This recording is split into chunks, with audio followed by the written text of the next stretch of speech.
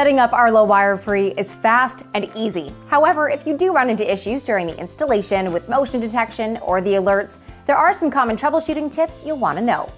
In this video, we'll review several of them. Arlo cameras have a 110 degree viewing angle.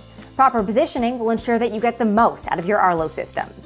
Position the camera so the space that you want to monitor is within the camera's field of view. Be sure to mount the camera at least 7 feet from the floor, aimed slightly down, and positioned for side-to-side -side movement across its field of view.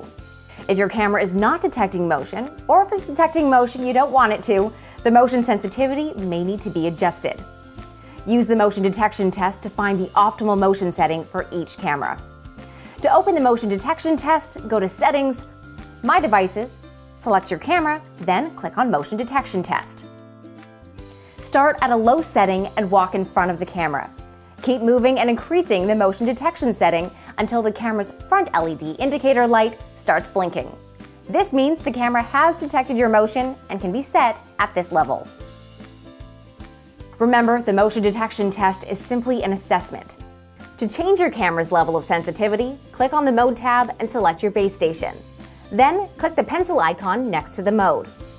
Tap the pencil icon to edit when motion is detected and drag the bar to adjust the motion sensitivity.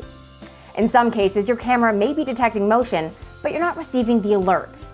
In this case, either your email address is not confirmed or the alert setting is accidentally disabled in the rule. First, check this by navigating to Settings, then Profile.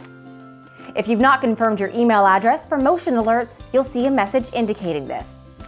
Click on the Confirm link to receive a confirmation email. Open your email and complete the verification process for the email notifications to begin.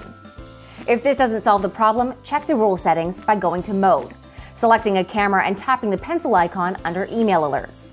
You can also add additional email addresses for receiving alerts by selecting Edit. For more troubleshooting tips, head to support.arlo.com.